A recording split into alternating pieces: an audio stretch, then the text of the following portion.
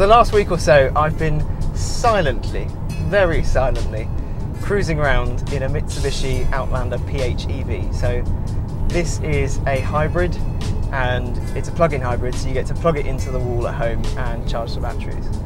Mitsubishi say you can get about 30 miles on an electric charge.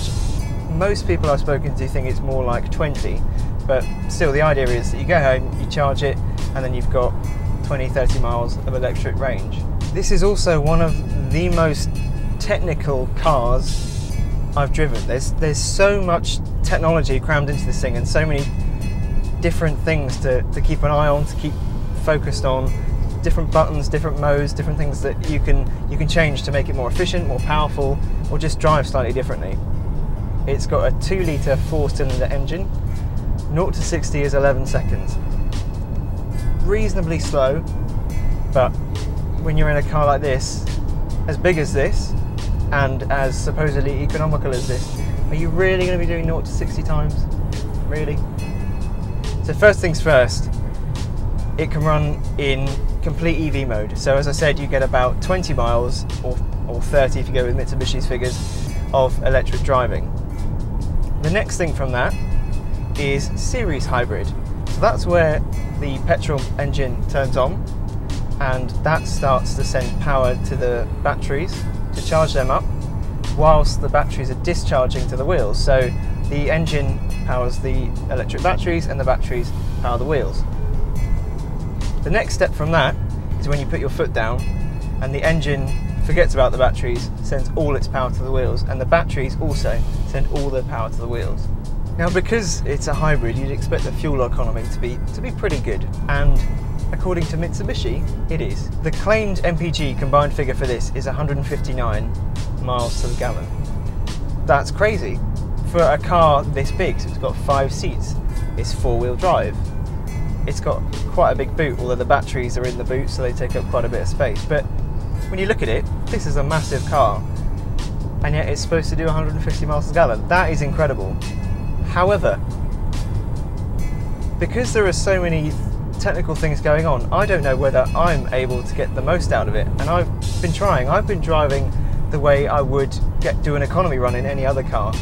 And so far, the best I've been able to do has been between 50 and 60 miles to the gallon. Now I don't know whether I'm doing something wrong because as I've said there's so much stuff going on. In all honesty I probably think I am doing something wrong and maybe I'm I'm not using the so there's an econ uh, eco mode button on the on the dashboard here that's supposed to help improve your MPG. I've been using that but maybe there are other things going on in this car that I should be making better use of. So there's a button down here um, called charge and when you press that if it's in full EV mode, it will then turn the engine on to charge the batteries. So normally to charge the batteries you have to have a bit more throttle, but that charge button just turns the engine on and starts to charge the batteries.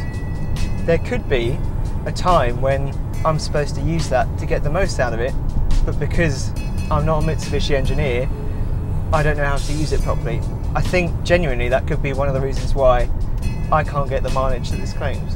I'm just not clever enough or I haven't spent years developing this car to know the ins and outs of it.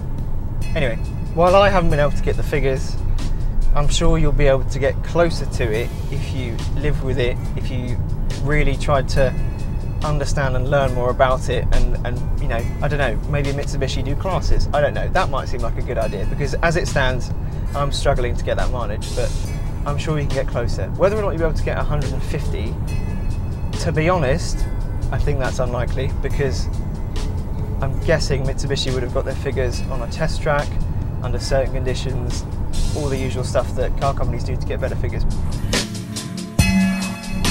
Some other things in this car. Behind the wheel, there are two paddles. There's an up paddle and there's a down paddle.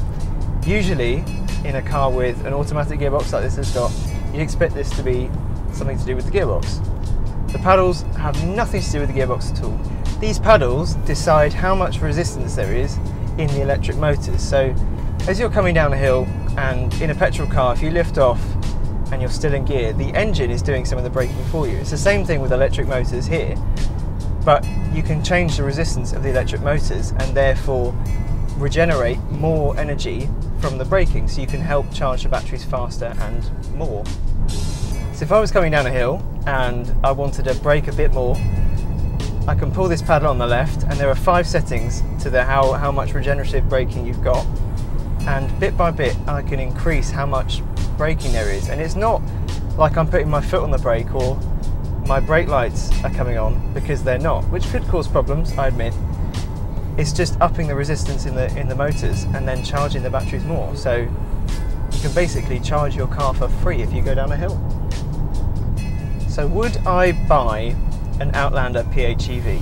Um, if I'm honest, I don't think I would. I, I like the fact that with this car, you can charge the batteries, you know, at home or as you're driving along, you know, through braking or just by pressing the charge button. Then when you get to a city, you can silently cruise around, and it is so silent. It's so quiet, in fact, that there's a noise that the car emits to let pedestrians know, because otherwise you would kill someone. But I don't know whether the battery technology is far enough yet that I'd, I'd want something like this. It is amazing. The technology on it is incredible, and as a calibration thing to work to get everything to work together the way it does is absolutely incredible. But I don't think at this stage I would want to, to own one.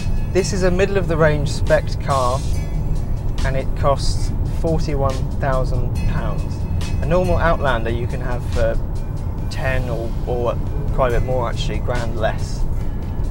So it's very expensive. It's you've got to make a bit of a choice really. If, if you're interested in this technology and you know you're going to be using this car a lot in cities and you quite like the idea of just being able to plug it in and charge it at home. Because in theory, if you've got fuel in this and you only live six, seven miles away from work or something, you could charge it at home, drive to work on electric power, drive back on electric power, and never have to put fuel in and then when you did go on longer journeys, you've got the fuel to back you up. But even so, quite a lot of money.